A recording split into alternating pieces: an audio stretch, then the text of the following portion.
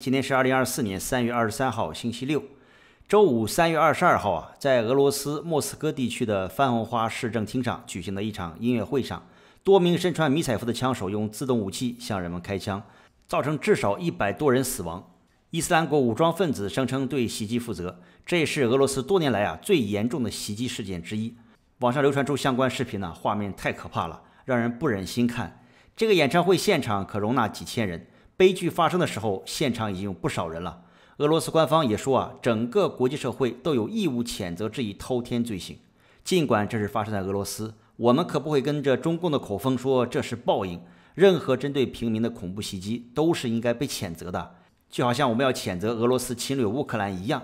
这个演唱会呢发生恐袭，让我们想起去年发生的，大家还记忆深刻的2023年10月7号发生的。哈马斯对以色列南部的一个户外音乐会进行的恐怖袭击，手段残忍，有中国人也遇害了。哈马斯还绑架了大量人质。现在全世界都在为加沙停火进行力度很大的宣传和努力。上周五，三月二十二号，联合国安理会投票表决美国当天提交的一项呼吁以哈停火并释放人质的决议草案，但是遭到了中共和俄罗斯的阻挠。表决结果为十一票赞成，三票反对，一票弃权。俄罗斯、中共以及阿尔及利亚都否决了该协议。要知道啊，中俄甚至从来都没有谴责过哈马斯对以色列发动的袭击。对于俄罗斯来说，尽管我们对平民的遇害感到悲伤和难过，但是俄罗斯政府和那些热衷于战争的人呢，也要衡量一下本国被恐袭跟其他国家被恐袭，从感情的伤害来讲有什么不同？死的都是无辜的本国国民，而且这两次事件呢，都是利用一个艺术盛会。在大家最放松和欢快的时候进行屠杀，其心之险恶可想而知。在独裁者或者恐怖组织领袖的个人意志下发动的伤人害命的举动，必须谴责。无论是对外国发动的，还是在本国发动的。前天，Netflix 正式上架美版的《三体》连续剧，在第一集开头三分多钟的片段中，《三体》就呈现了极其血腥和残忍的一幕，是文革时期大学批斗死人的震撼场面。Netflix 并未在中国上架。但稍早前呢，国内网络传出，中宣部网信办已经下令全网屏蔽即将上架的美版《三体》中关于文革批斗的内容，因为文革中知识分子被游街批斗的有关场景，就曾在日本 Netflix 的预告片中出现。关于文革的细节镜头，在一个面向全世界的串流平台出现，看来也是触及了习近平的敏感点呢。早在2013年，中共党媒《人民日报》就曾经发表文章说。习近平提出不能以后三十年否定前三十年的观点。尽管习近平正在开启文革二点零，但是中共暂时还不想以一种血淋淋的面貌出现，那样会一下子把中国人都吓醒了。得慢慢来，等中国人都意识到危险时，可就为时已晚了。这就是在中国国内有能力出国、有能力选择的人群，在过去五到十年面临的一个灵魂拷问了。对于世界认识中共的历史这一方面呢？其实一个电影的三分钟还远远不够，但也是比较突破了中共底线了。在好莱坞全面倒向中共的时候，至少 Netflix 平台这么多年来还是比较随性。无论是揭露中共对民主人士的迫害，还是活摘法轮功学员器官的真相，包括大量中国企业如何欺骗和利用美股的内幕，终于坚守了电影人该有的底线。这点比苹果强。苹果之前被爆出啊，不能拍摄惹恼中共的片子，自我审查。这点上。现在的苹果领导层跟 Steve Jobs 真的差太远。其实 Netflix 呢也对原小说进行了一系列大幅度修改，将原本发生在中国的故事啊转移到了伦敦，也抹去了大量人物的中国背景。但是不少小粉红翻墙看完后仍然无法接受，必须给出低分评价，更呼吁其他中国网民不要打开。这些人如果中共警察抓到翻墙啊，可能遭受的社会铁拳也不是闹着玩的，翻墙还不敢被发现。一边骂境外势力，一边躲避境内势力，粉红们活的也是够憋屈的。有一点很明确，就是刚才说的，在独裁者或者恐怖组织领袖的个人意志下发动的伤人害命的举动，必须谴责。无论是对国外发动的，还是在本国发动的。为什么那么多民营企业家润掉？为什么家里有曾经经历过文革的老人们，很多都在鼓励自家年轻人走？就是因为那个年代太离谱、太残忍、太让今天的人难以理解。如果没有真实的历史镜头再现，反复告诉中国人，你们从来离文革都不远，今天的一切都是为再次的疯狂岁月而准备。很多人觉得就是你在黑，中共的残忍本质从来没有变。阻挡这些信息流啊，就是怕中国人知道，他们其实已经再次快要做好准备。这帮人快准备好了，中国的朋友们，你们准备好了吗？共产主义到底给中国带来什么样的结局呢？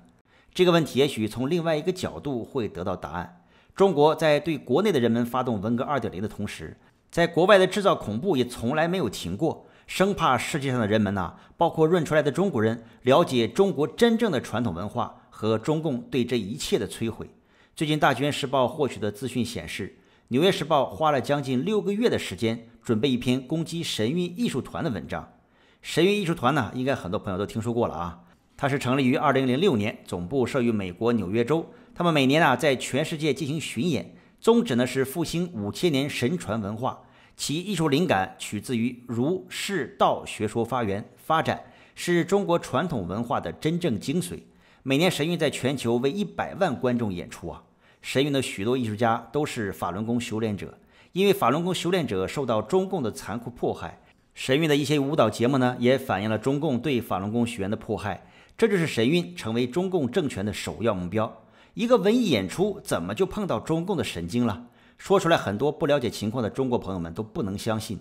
这十多年来啊，中共使用了大量手段来阻挠神韵，包括试图迫使剧院放弃演出、迫害艺术家在中国的家人等等。中共还特别流氓的把神韵演出主办方的车轮胎割破，有可能导致在高速上爆胎。之前啊，在芝加哥，有人涉嫌对贴有神韵广告的卡车进行破坏，将腐蚀性化学物质泼洒在刹车和油门踏板上，还在神韵演员家附近的路子上撒钉子。中共干的这些事儿，你一听就知道背后的组织者的无能和卑鄙，还给世界各国议员写信，威逼利诱，不想让他们去看神韵。结果，很多西方国家的政要把中共的信放在网上，然后说啊，你越不让我去看，我一定要去看，就要看看中共为什么会花费大量纳税人的钱去阻止人家看一场秀。中共无意间帮助把神韵的影响力还搞大了。然而，这次对神韵的下一次攻击却来自美国最大的报纸《纽约时报》。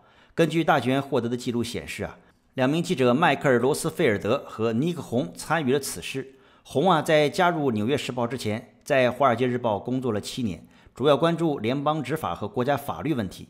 他们所在的团队因为负面报道川普而获得了2019年普利策报道奖。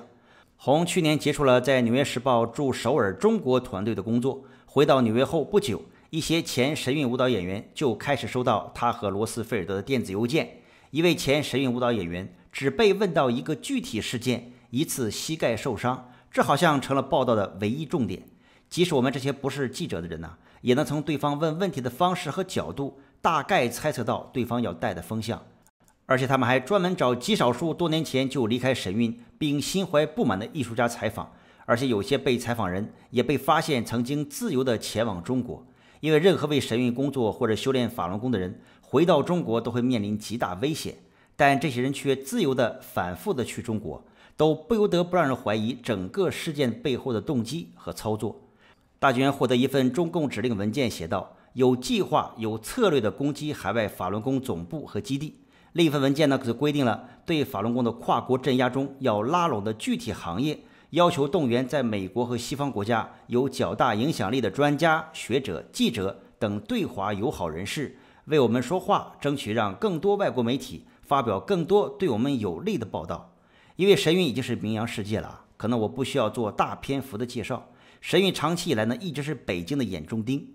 神韵艺术团在2024年演技演出信息介绍传单中直接表示，神韵通过音乐和舞蹈复兴了在共产党统治下几乎失传的五千年中国传统文化。传单上写道：“来看看为什么中国共产党政权害怕文化复兴，是时候看看北京不想让您看到的东西了。”听上去是不是很诱人呢？没有中共的中国曾经多么的美好。小木我已经看过几次神韵了，每次都会觉得非常震撼。说这是一场对心灵的洗涤、灵魂的升华，真的不为过。演出的色彩、天幕、舞蹈和音乐是在其他演出中看不到的。看过后啊，作为华人，更加对我们民族的文化内涵无比的骄傲。下个星期啊，我会再次到台湾去观看神韵，我现在真的非常期待。我相信中共禁止 Netflix 的《三体》片段，会引起无数人的好奇心去观看。被中共骚扰了多年的神韵，不仅没有没落，还发展成了世界第一秀。好吧，我就再次去看看为什么中国共产党政权害怕文化复兴？是时候看看北京不想让我们看到的东西了。还没看过的朋友们，抓紧时间去查询买票吧。未来一个星期啊，我都会在台湾，就没有视频了。等我回来再给大家分享我看到的台湾好山好水好料理吧。